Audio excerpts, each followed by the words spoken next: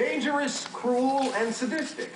Also, that I personally am dangerous, cruel, and sadistic. So, I have decided to cancel sixth period. Just kidding. I'm also funny. I should add that.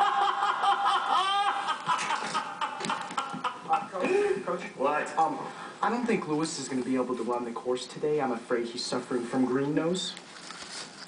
Green nose. Yeah, the dreaded green nose disease. You know, first your nose turns green, and then you Mommy, can I have my buttercup? you start shouting off these stupid Mommy, can I phrases, and we can't control it.